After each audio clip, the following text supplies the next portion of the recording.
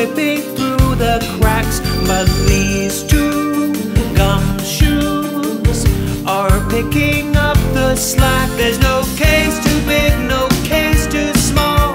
When you need help, just